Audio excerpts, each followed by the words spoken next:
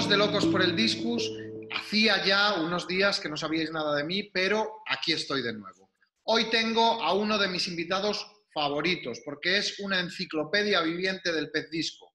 Me refiero ni más ni menos que a Manolo Sanchís, al que voy a enviarle una avalancha de preguntas. ¿Qué tal estás, Manolo? Hola, Gus. Bien, ya estamos. Me alegro mucho. Oye, tengo para ti eh, 15 preguntas que vamos a intentar abordar, que además son preguntas muy variadas que me han ido haciendo nuestros seguidores, eh, que vamos a intentar abordar de una manera así ágil para no cansar mucho a la gente y que tú me vas a contestar libremente como tú quieras. Sí, muchas, algunas preguntas, como no sé las preguntas que serán, pero eh, lo que tienen que saber los aficionados es que muchas preguntas, eh, yo intentaré que sean lo más científicas posibles, aunque yo soy un aficionado de a pie, y habrán algunas que serán subjetivas, por mis propias vivencias, no por vivencias de otros. Aquí no hay copia y pega, ¿de acuerdo? Venga, pues genial, me parece muchísimo mejor. Venga, pues vamos allá. Pregunta número uno. ¿Cuánta comida doy a mis discos y cuántas veces al día? Porque no quiero ni pasarme ni quedarme corto. Yo creo que es una pregunta que todo aficionado, incluso aficionados avanzados, se hacen cada vez que dan de comer. ¿Estoy dando lo suficiente? ¿Me estoy pasando? Vamos a ver, eh, hay que distinguir eh, a quién está dando de comer. Si son alevines, son adultos, son juveniles, si es un acuario plantado o un acuario desnudo, ¿vale? Si es un acuario eh, plantado, plantado, como nosotros hacemos los acuarios plantados en los discos, normalmente, grava, cuatro piedras, dos troncos, unas balinerias, algo de limnópilas en flora y alguna espada de la Amazonas, ¿vale? Un acuario medio, bien, a gusto para tener en el comedor. Eso tienes que darle la comida justa para que casi no toque el suelo. Casi. ¿Qué me digo casi? Normalmente con los discos hay, otros habitantes. Tienen que comer también, evidentemente. ¿Vale? Entonces, un poquito de lo que queda la comida al suelo es de lo que sobra alimentar. Otra pequeña parte de la comida es la que escupen los discos, que tienen costumbre de comer la comida y escupirle. ¿Vale? Entonces, eh, los, los cardúmenes de tetras y demás se alimentarán de eso la poca que caiga al suelo es la que eh, se comerán los, los, las coridoras y demás animalitos que hayan por el, por el acuario. Pero nunca se debe de usar. Eso es un acuario ornamental. ¿Vale? ¿Por qué? Porque toda la suciedad eh, mm, se va a convertir en materia orgánica en descomposición, con lo cual habrá que limpiar más el filtro, más los cristales, más, la, más sifonar la grava, empezarán a aparecer bichitos indeseables, etcétera, etcétera, etcétera. y otra cosa que tenemos que tener en cuenta es que los discos no se mueren de hambre, ¿eh? se mueren de exceso de comida siempre. Un disco, tú te puedes ir si en un acuario ornamental que tenga algo de plantas, algo de tronco, que siempre tiene alguna alguita, alguna babita, el tronco y demás, te puedes ir 15 días de vacaciones tranquilamente sin darles de comer y no les pasará nada. ¿De acuerdo? Lo que no se debe hacer es abusar de la comida.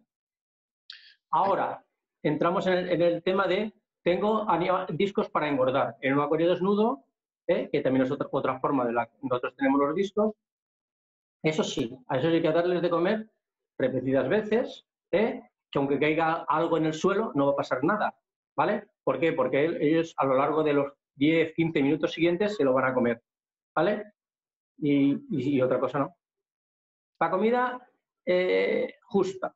Si es para engordar animales, pues un poquito más, para que ellos luego se entretengan en el suelo, picoteando y demás.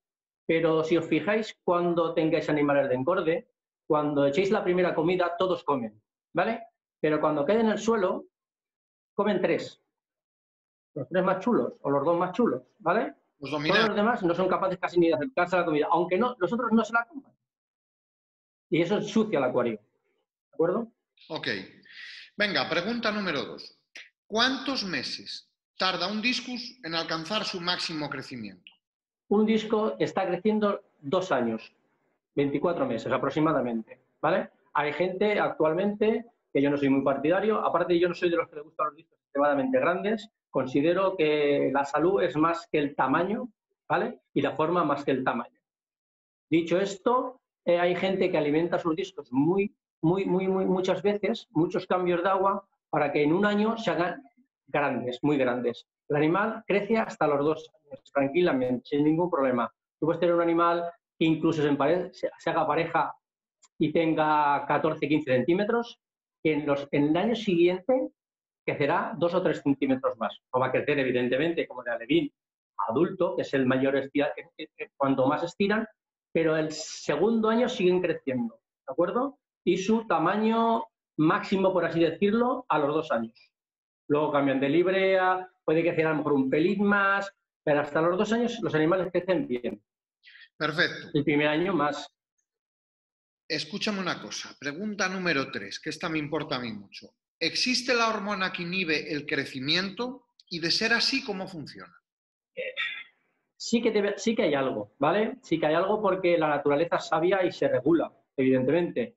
Yo esa conversación la he tenido con algunos compañeros eh, que tienen piscifactorías, que ellos sí que saben de, este tema porque ellos manejan cantidades inmensas de animales, aunque no sean discos, pero pueden ser otra cualquier clase de animales, ¿vale? Y ellos sí que eh, saben que hay algo de, de, ese tema, de una, hormona o una proteína que se crea en los propios animales, ya no solo los discos, sino muchos animales, muchos peces, para que así no haya, digamos, una explosión de tamaño y de, individuos en un recinto para que eh, puedan contaminar en exceso el agua o que no puedan crecer, ¿vale? Entonces sí que hay algo, pero ni incluso los, los grandes agricultores se preocupan del tema, porque no es una, una causa, digamos, tan, tan importante.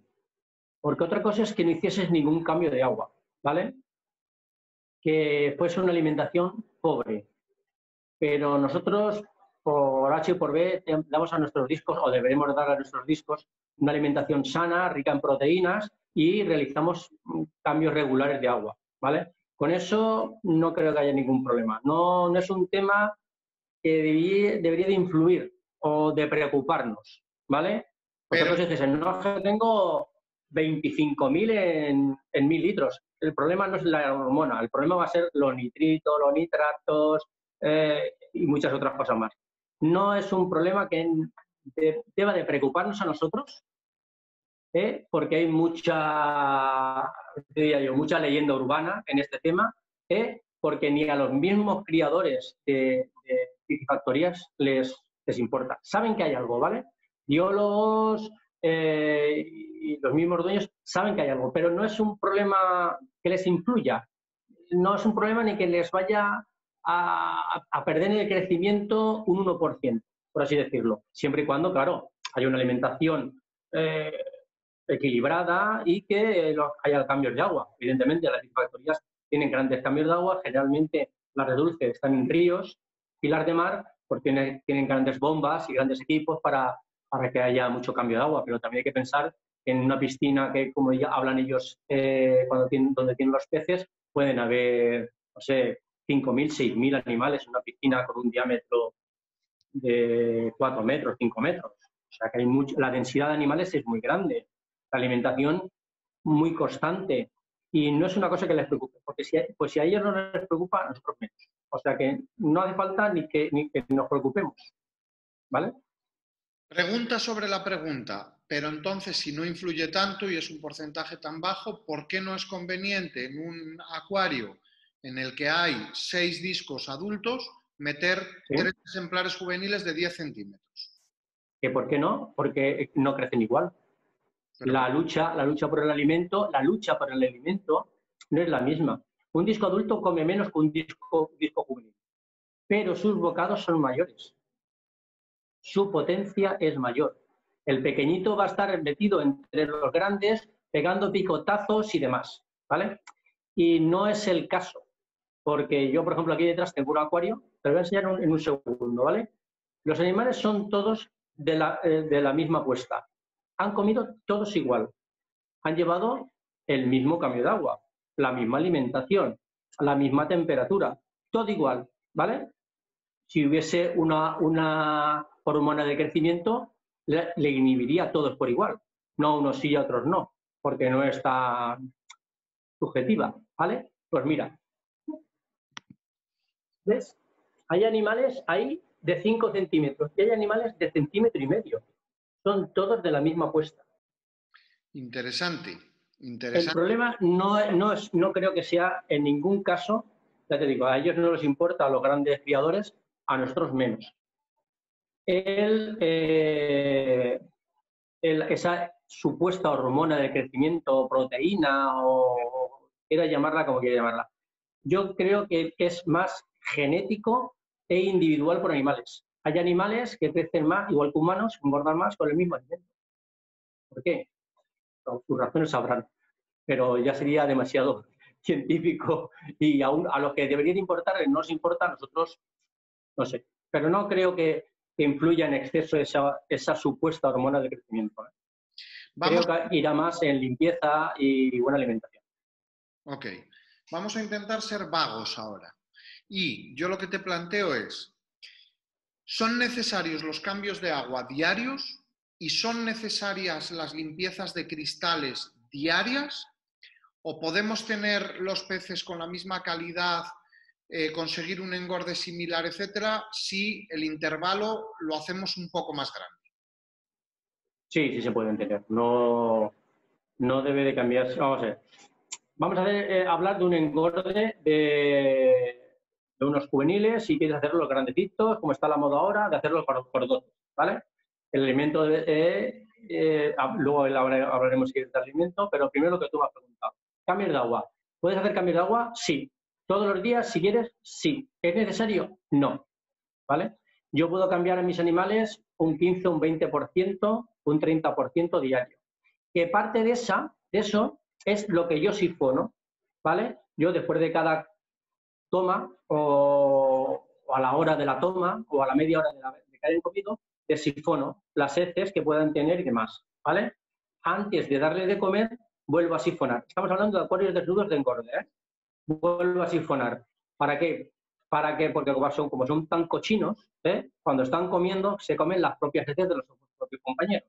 ¿Eso qué conlleva? Conlleva que si las heces de los compañeros contengan alguna cosita rara, se la coman ellos.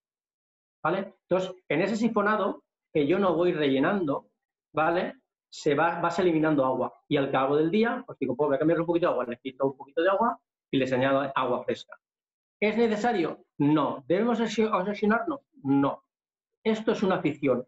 Hay que disfrutar, hay que mantener a los animales lo más sanos posible, pero sin obsesión. Si no, nuestra afición se convierte en una obligación y cuando una cosa es una obligación, acaba por cansar. Y es a veces peor el obligarte a algo constante que el disfrutarlo. si nuestro animal no tiene que crecer en un año y debe de crecer en año y medio, que crezca en año y medio.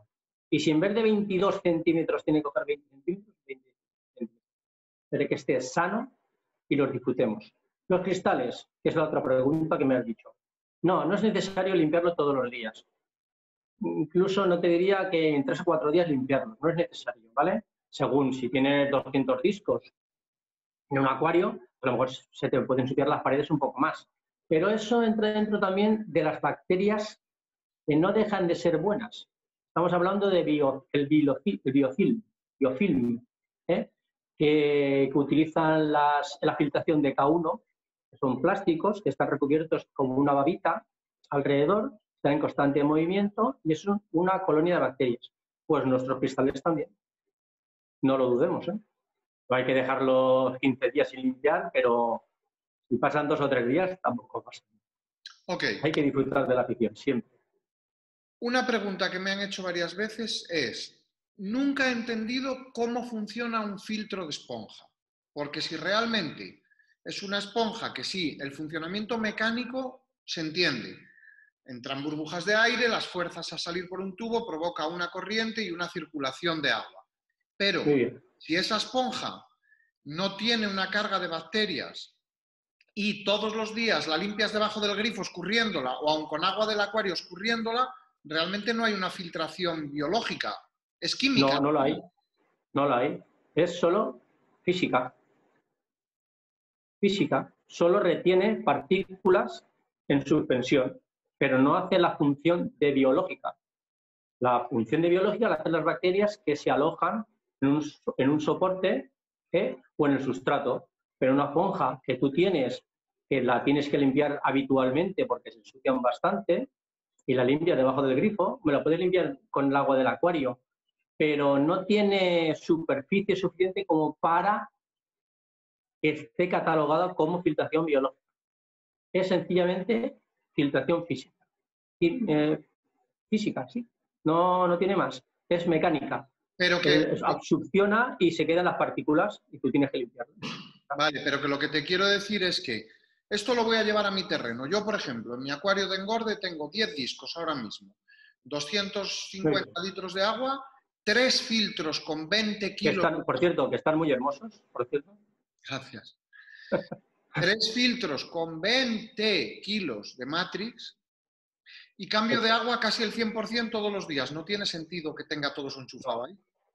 No, no, no, no. Lo que no tiene sentido es que cambies tanta agua. Vamos a ver.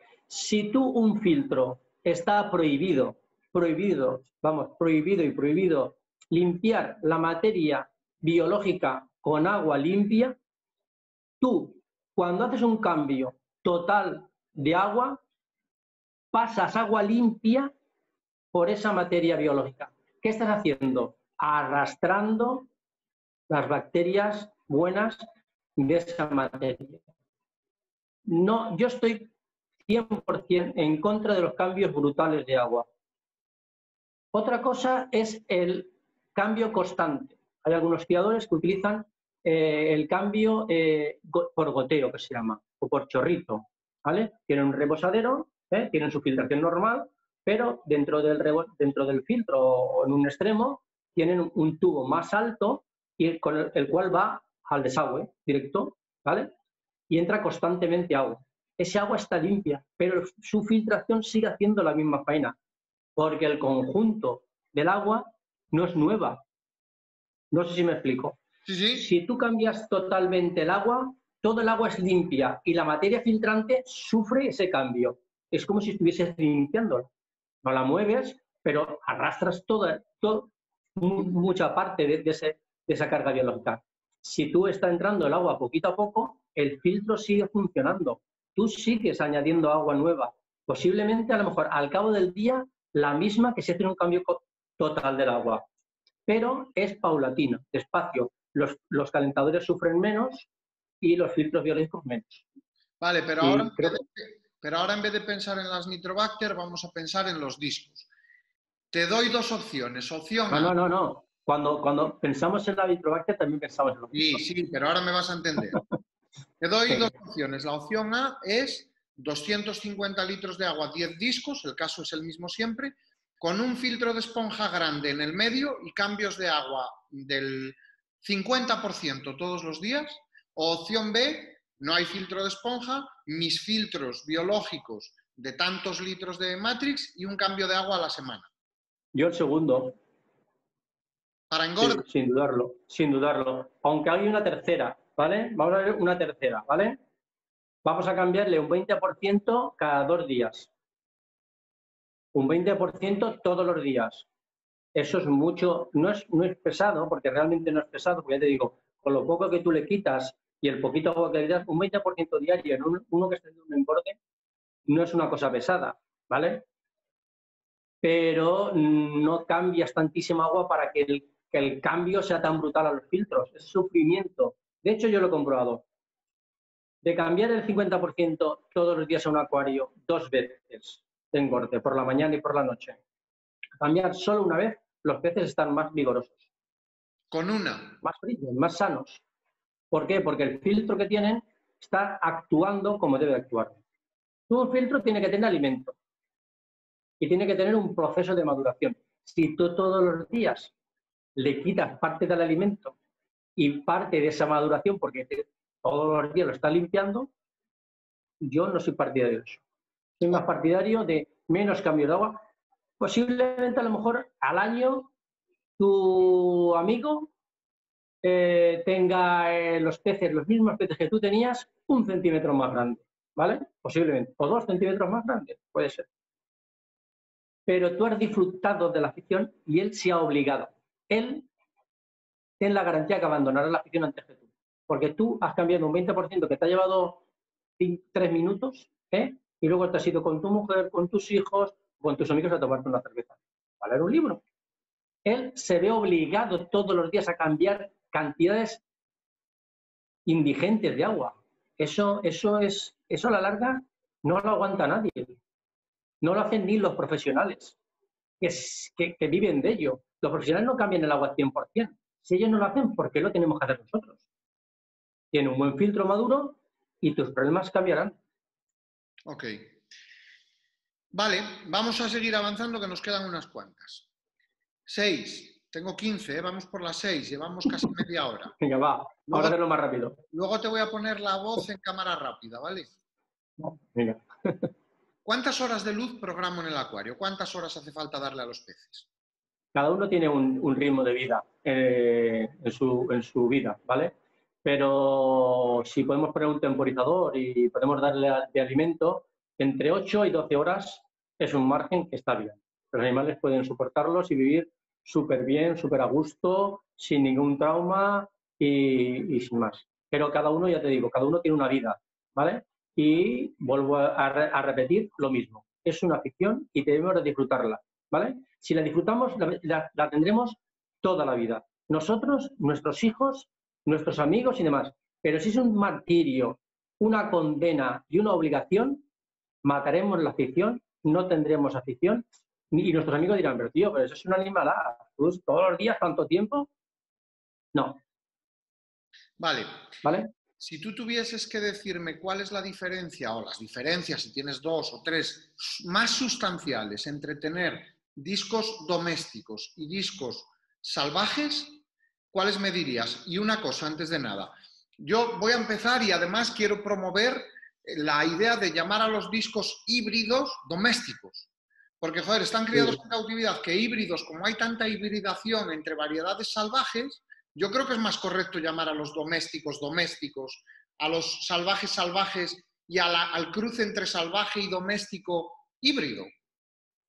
Sí, además se debe hacer así. Un doméstico se considera en la quinta generación, o como ahora se llama F1, F2. Cuando digo un F5, un pez es doméstico, ¿vale? O está domesticado, por así decirlo, ¿vale? le queda ya poco de natural, de, salvaje, ¿vale? Entonces sí, podemos denominar a los que ahora se llaman híbridos domésticos, el cruce entre un salvaje y un, doméstico, llevarlo híbrido, ¿vale?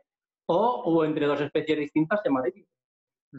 ¿Vale? vale la diferencia? Vale, dos cosas. La primera, sabes que yo no soy muy partidario de los animales salvajes, ¿vale? ¿Por qué? Porque considero que en la ficción y en el mundo hay mucho disco como para poder disfrutar, ¿vale?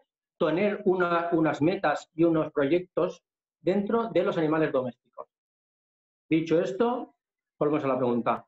La diferencia entre un doméstico y un salvaje es que el salvaje es un superviviente, selección natural, es más fuerte una vez, una vez una vez está eh, bien acondicionado y bien alimentado y bien ha pasado sus cuarentenas, su eliminación de parásitos y demás, una vez que el animal ya está estable, es más duro, más resistente que un doméstico.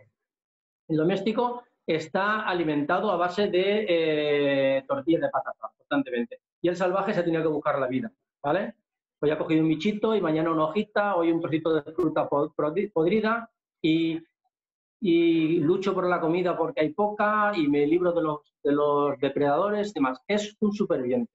Un animal que consigue llegar a un acuario y estabilizarse es más resistente que un doméstico. El agua tiene algunas particularidades, generalmente suelen ser un poquito, si estamos hablando de discos, un poquito más ácidas, no deben de tener tantísima temperatura, 30 grados como tenemos muchos discos nuestros. Ellos eh, tiene una temperatura media de 26 grados, o sea que 27 grados, entre 27 y 28 están muy bien. Eh, el agua tiene que ser más madura porque tenemos que tener en cuenta que vienen aguas con gran carga biológica y, eh, y de, en descomposición, ¿vale? Por eso viven aguas más ácidas, pero son cuatro particularidades. Al que le gustan los animales salvajes, que no es mi caso, lo digo otra vez, que eh, si consigue tener unos animales, los lucirá, aparte tienen más carácter, son otro, como vos decís vosotros, que os gustan los salvajes, otro nivel.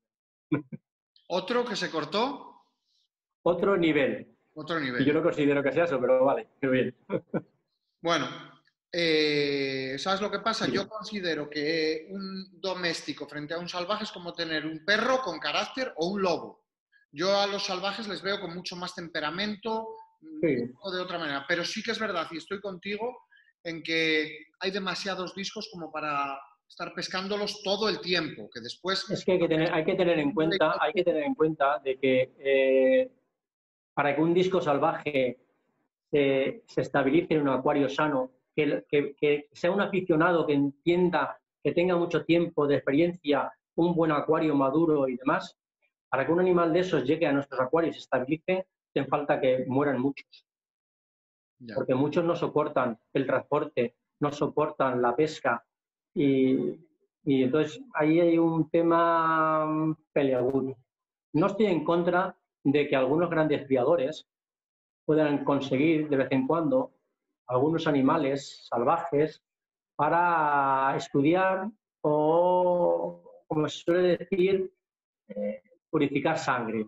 Aunque yo eso también lo tengo un poquito cruzado. Eso de purificar sangre, si tú cruzas un animal asiático y un animal alemán, las sangres son muy distintas y no tienen nada que ver uno con otro. Si un, disco que está en Portugal y uno que está en Checoslovaquia, poca sangre, pocos genes en común tienen.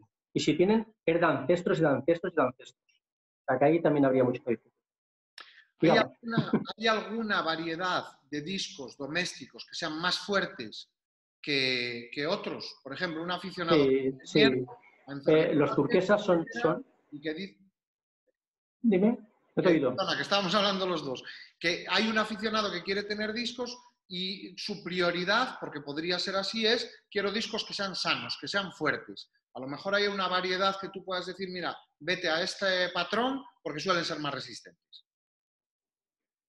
Bueno, no, lo primero es, que el acuario esté maduro. Vamos, eh, una de las de, lo, de la prioridad para tener discos es que el acuario sea maduro tengo unos cambios regulares de agua, regulares una vez a la semana, una vez a 15 días, una vez a 10 días, según el alimento que se le dé y los animales que tenga. Tener animales eh, que estén con ellos, que convivan con ellos, que no sean agresivos y, una buena alimentación, ¿vale? Ahí cualquier doméstico se puede, se puede mantener. Luego hay variedades nuevas o variedades que se han eh, hibridado demasiado, ¿vale? Se han cruzado demasiado se han abusado mucho de la de cruzar hermanos con hermanos y demás, con sensibilidad, pero eh, todos son iguales. Los turquesa, los, los, que primero, digamos, se han domesticado, suelen ser un poquito más duros, pero no porque sean más duros en sí, sino porque están más comercializados entre aficionados. Entonces, un pez que está en casa de un aficionado, las aguas eh, son más naturales. Más naturales me refiero, la filtración es natural, no está pasado por ultravioleta, no por ozono, eh, la filtración es más, más mm, te diría? Más igualitaria con el resto de aficionados y por eso, digamos que a lo mejor los turquesa, turquesa fondo rojo, turquesa fondo azul, son, podrían ser más duros. Pero es más importante tener bien el acuario que eh, la variedad de peces. Ok. ¿Sirven de algo las hojas de catapa, almendro, la turba, las piñas de aliso? Porque hay aficionados que me dicen que no notan nada salvo que el agua cambia de color. Bueno, aparte de que sí sueltan taninos, eh, el tanino es una sustancia que, da beneficios al agua y en este caso también al animal, no solo el color, AT. ¿vale? La turba tiene la propiedad de eh, reducir el pH de forma natural no muy rápida, pero es constante y de tamponar un poco el acuario a una cierta acidez, ¿vale? que nuestros discos lo, agradecen. Las hojas de, almendro, amargo se utilizan mucho tiempo en Asia, que han llegado no hace mucho, no hace mucho, por 15 años, 20 años, en Asia se utilizan muchísimo más eh, y dicen que son fungicidas, algo fungicidas, ¿vale? Eh, demostrarlo sería eh, bastante difícil, pero no tendremos, no tenemos por qué dudar tampoco. Si una cosa se ha utilizado durante mucho tiempo y da resultado, y da resultado, ¿vale? No tiene por qué no ser beneficiosa. Otra cosa es que tú digas, yo no noto nada. Es como el que se toma una pastilla de colágeno todos los días y tiene 50 años. Es que no noto nada. Pero ¿y si no te la tomas? El colágeno se pierde. Pues las propiedades del agua ¿eh? de, la red son muy, muy inertes y muy pobres en, taninos y sustancias buenas para el agua. Esas hojas de acadama, esa turba, esas piñas de aliso, le dan una cierta más naturalidad, por así decirlo, a, a la calidad del agua. ¿Quieres usarlas? Bien. ¿No quieres usarlas? También, no pasa nada. Es, digamos, ponerle un poquito más de cariño a la cosa. La turba sí que es un buen elemento para reducir el pH. Yo ahí lo único que podría aportar es que en mi caso yo tengo un tanque de unos 300 litros con agua de reposo, que tengo todo el fondo lleno de turba, hojas de aliso, catapa, piñas, tengo todo lo que existe y más.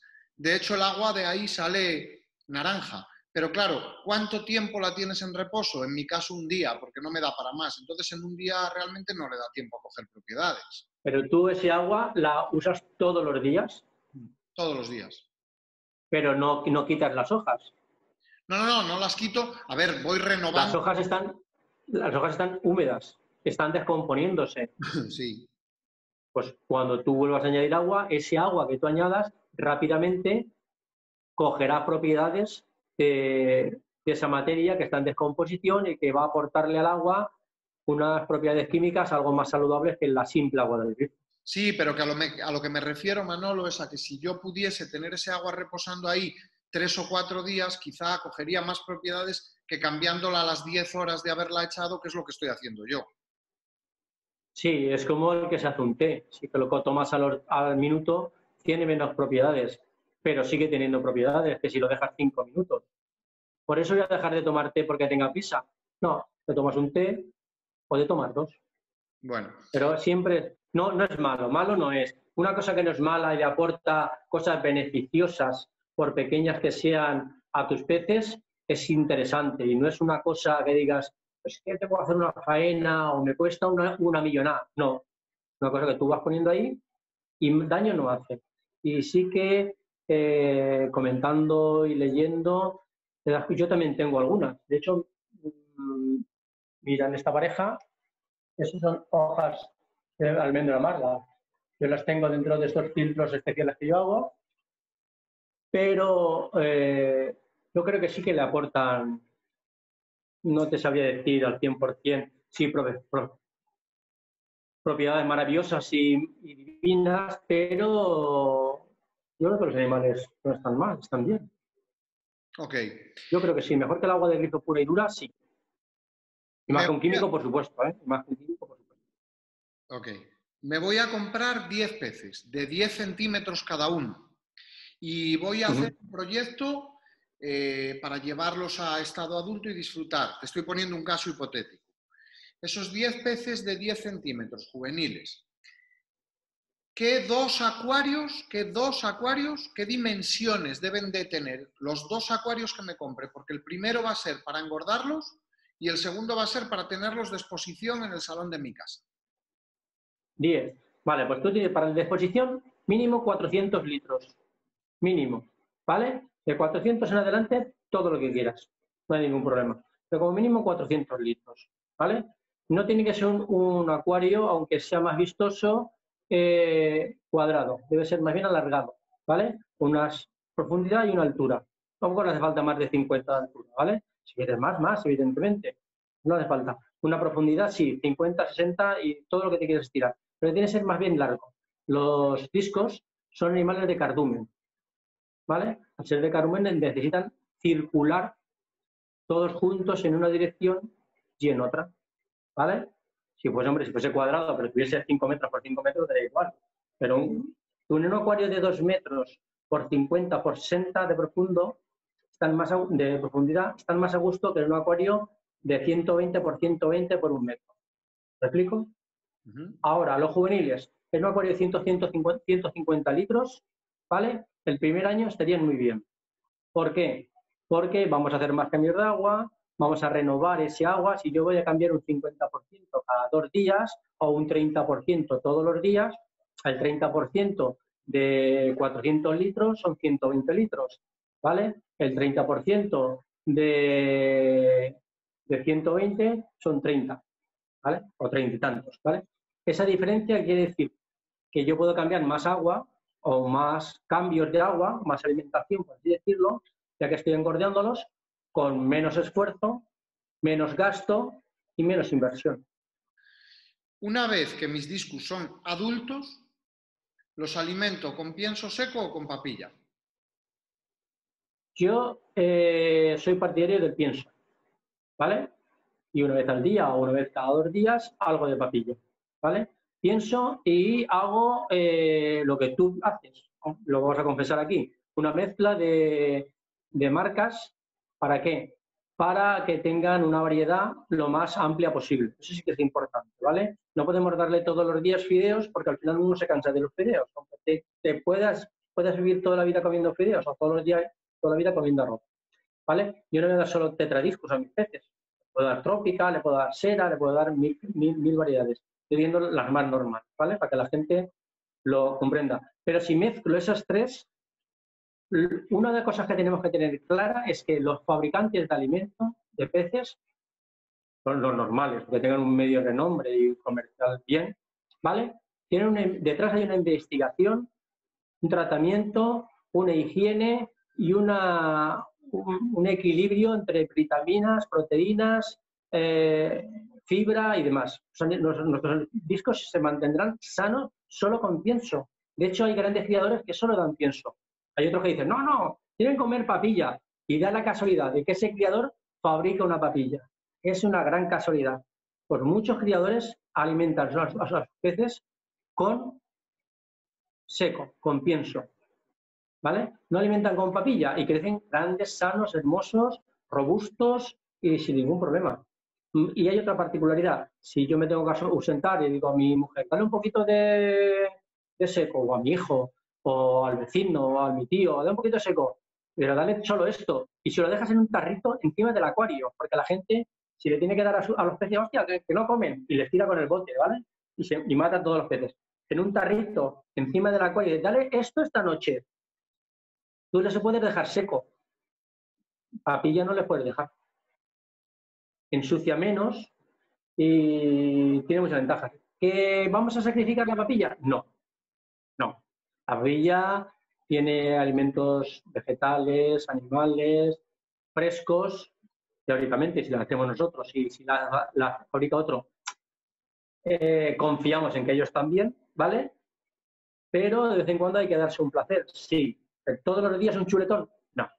Seco, seco, seco, pienso, pienso.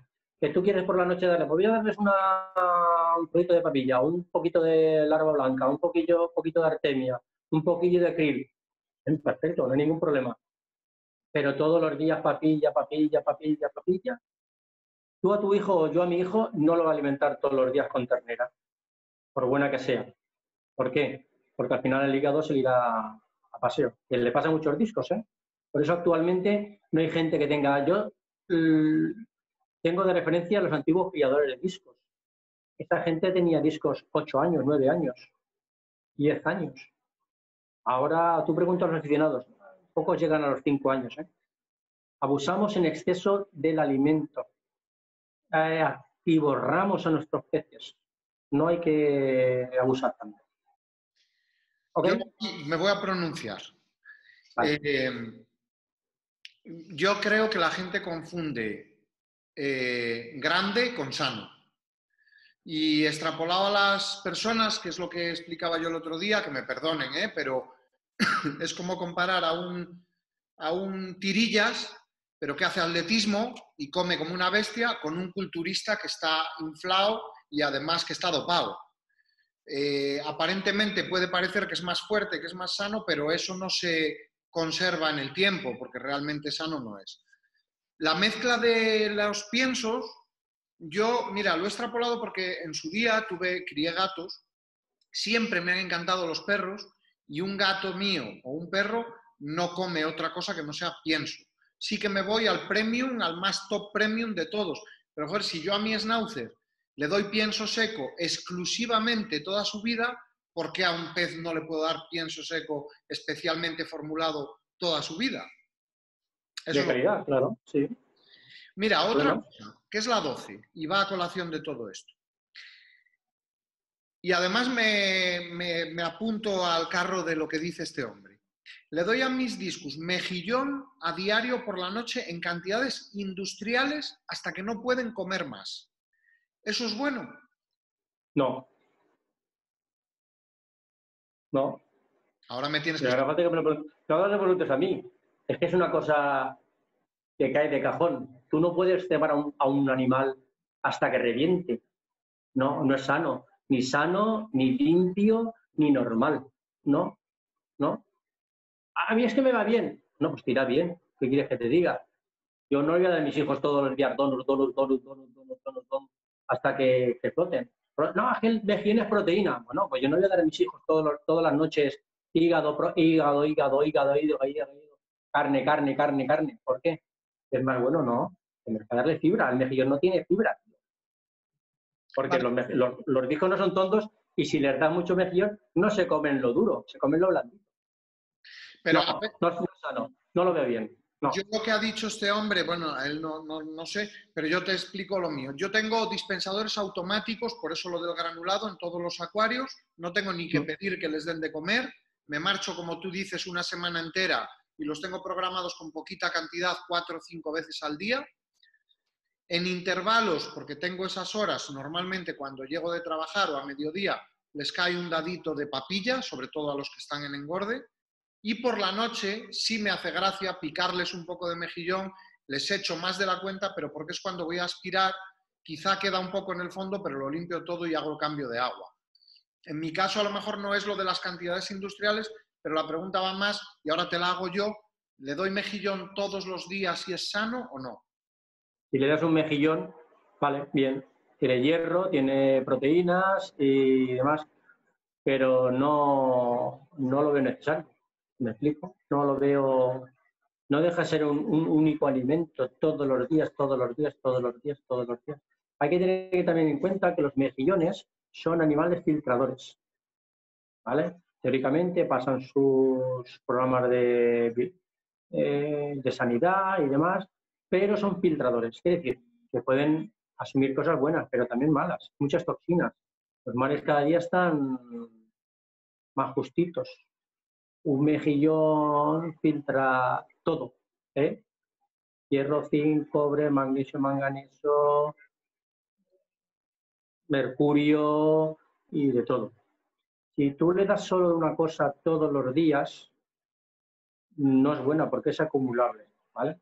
Eh, uno de los primeros peores alimentos que hay eh, para el ser humano es el aceite de palma, ¿vale? Yo soy muy cuidadoso a la hora de comprar cosas que no tengan aceite de palma y demás. ¿Por qué? Porque sé que es acumulable. Un día me tomo un helado en una heladería y estoy seguro que tiene aceite de palma, pero me tomo uno. No me tomo todos los días unas galletas, no, que yo tomo solo galletas de fibra pero mira a ver qué grasa lleva. Yo es que tomo todos los días solo, pero mira a ver lo que diga. Porque si tú de una cosa comes siempre lo mismo, es acumulable. Si tú los mejillones que le llegas tienen un poquito de mercurio, un poco, ¿vale? Como es acumulable en el hígado, todos los días le vas acumulando esa toxina poco a poco, poco a poco. Es mejor que de vez en cuando le des un mejillón. No te digo que no, de vez en cuando. Pero eso de darle ¿Tú te comerías todos los días un plato de mejillones? No. ¿Por la noche? No. Pues ya está. No hablemos más. Si tú no lo haces para ti, o, tú a tu hija o a tu hijo, siéntate ahí todas las noches, que tienes mucho hierro, venga, va, un plato de mejillones. No. Pues lo mismo. No quiere decir que nuestros hijos sean hijos nuestros, pero si les tenemos que dar eh, la mejor alimentación dentro de nuestras posibilidades, es lo que tenemos que hacer. Otra cosa es que no pueda darle otra cosa y tenga que darle todos los días papelitos porque no tengo otra cosa. Me gustan los peces, pero no tengo otra cosa. Dale todos los días papelitos. Un día papelitos de una cosa y otro día papelitos de otra. Pero todos los días papelitos. Pero si le puedes variar la alimentación mezclando distintas canchas de pienso, dándoles hoy un mejillón, mañana un trocito de artemia, otro día un trocito de krill, mejor. No se debe de abusar de todo Siempre lo mismo. La 13 va por ahí. ¿Es importante la artemia, las larvas congeladas, etcétera, para la dieta de nuestros discos o podemos prescindir de ellas si damos también pienso granulado o escamas como estamos hablando ahora? Podemos prescindir, sí. Esa sería la respuesta a la pregunta, sí. ¿Debemos? No. Eh, lo mejor es el pienso, vuelvo a decirlo pero de vez en cuando algo de, larva, algo de artemia. La artemia, digamos que es un poquito eh, el pan de, centeno o el pan sin tanta harina blanca, ¿vale? Para que les limpie un poco, tiene más, más cascarilla, es un crustáceo, el krill también. La larva roja deberíamos de, de quitarla un poco más de nuestra dieta. No quiere decir que de vez en cuando le des, ¿vale? Pero donde viven hay más patógenos. Si queremos darle larva, podemos, no, les gusta tanto, ¿eh? también te lo digo, le podemos dar larva blanca, ¿vale? Muchos criadores dan larva blanca. ¿Por qué? Porque tiene menos patógenos, ¿vale? No quiere decir que, que vaya a coincidir que, le, entre una enfermedad por la larva roja, yo no quiero decir eso. Pero eh, es un animal que en su hábitat mm, tiene, convive con más más bacterias, más bichos más, por así decirlo. La larva blanca no. La larva roja es de fango. La larva, la larva blanca es más de, superficie. ¿eh? El tubifés congelado tampoco es bueno. porque Es un animal que se, alimenta de eh, putrefacción. Hay cosas que sí y otras cosas que no. Artemia, perfecto, no hay ningún problema. Todo animal que venga del mar a nuestros peces de agua dulce, solo cosas buenas. En cantidades correctas, ¿eh? No todos los días artemia. Todos los días artemia tampoco es bueno, ¿vale? Pero sí, está bien. De hecho, también es acostumbrarles a la artemia, al sabor de la artemia, porque en un momento dado, si tenemos que medicar a nuestros peces, podemos hacerlo con artemia viva, si tenemos oportunidad de conseguir en alguna tienda, en algún comercio especializado, que cada vez traen más. ¿Por qué? Porque al ser un animal filtrador, ¿vale? Eh, podemos poner el medicamento en un poquito de agua con la artemia durante una hora ellos filtran eh, ese medicamento y cuando se lo damos al animal es como si lo diéramos directamente a la boca. Y como es un alimento vivo, pues se llama más la atención y demás. Entonces sí que esté conveniente. Todos los días, si le un cuadrito para 10 discos, 8 discos, no pasa nada, ¿vale? Porque comen 10 artemias. ¿Todos los días mucha cantidad? No. Hay que compaginar. Pero sí, es bueno darles algo de artemia, algo de larva blanca, el krill sobre todo es muy bueno también, que es una gambita chiquitina, ¿eh? que hay mucho en el mar y se recolecta muy bien. Está bien, sí. Pregunta 14. ¿Qué especies compatibles meterías en un comunitario de discus? Un cardumen eh, de tetras. Hay uno que suele hacer muy... Si el, acuario es bastante grande, queda luce mucho lo que, los borrachitos, ¿vale? Porque es uno de los eh, tetras que más cardumen hacen, más unidos están. Se, separan menos, se sienten más a gusto juntos. Cualquier cardumen de un tetra pequeño que no moleste, eh, un buen grupito de corridoras que van a limpiar mucho la grava porque son muy cochinos los discos, lo vuelvo a repetir. Les gusta mucho escupir la, comida, la deshacen mucho. Y eh, alguna loricárida, ¿vale? Que va a limpiar las plantas, los troncos, antistrus, y alguna cosita de estas. Y poco más. Ok. Y la última. ¿Cuánto cuesta al mes tener un acuario de 200 litros? Me imagino que el gasto, el gasto energético. Estamos hablando de gasto energético, sí, ¿no? Gasto energético. Pues yo estuve haciendo mis cálculos hace tiempo y un acuario de 200 litros no consume más de 10, 11 euros al mes. Aunque parezca poco, mucho, pero no consume más. Pero La regla me la contó un amigo, ¿eh? José, y, me dijo, hizo el cálculo. Mira, una bombilla de 100 vatios, porque yo no lo tenía muy claro, una bombilla de 100 vatios durante 10 horas diarias, en un mes el consumo son 3 euros. Lo que más consume en un acuario de discos es un calentador. Para ese acuario de 200 litros sería con un, calentador de 150 o 200 vatios, ¿vale? Ten en cuenta de que no va a estar todo el día, no está, el acuario no está a la intemperie, está dentro de casa, una casa media tiene una temperatura media de 18 grados. Ten en cuenta que no tenemos que subir 24 o 30 grados, tenemos que subir 8 grados, 11 grados, según un poco. Perdón, pero no constante. Lo que está constantemente en marcha eh, es el, el filtro. Pero los filtros suelen tener 25 vatios, 30 vatios y no es un consumo grande. Luego las pantallas actualmente son todas de LED. La gente no tiene pantallas, sobre todo para, si dices, no, que tengo que tener plantas muy específicas, vale. Pero para las plantas normales, eso, las pantallas de LED tienen muy poquito consumo, 10, 10 vatios y están 10 horas. No, no, no, no, tienen un gasto energético más de 12 euros al mes, que tampoco es mucho. ¿eh? Manolo, tengo que despedir porque tenemos una hora de vídeo y vamos por 59 segundos y pico, 59 minutos. Agradecerte muchísimo. Siempre lo mismo.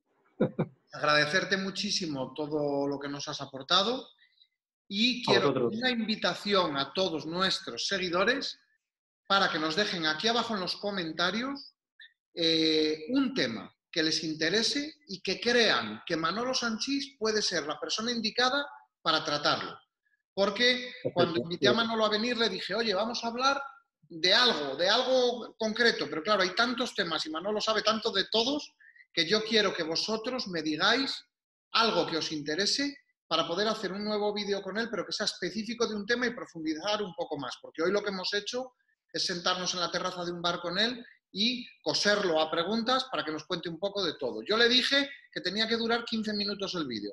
Qué difícil. Una hora. Muy bien, un saludo, un abrazo. Nos vemos.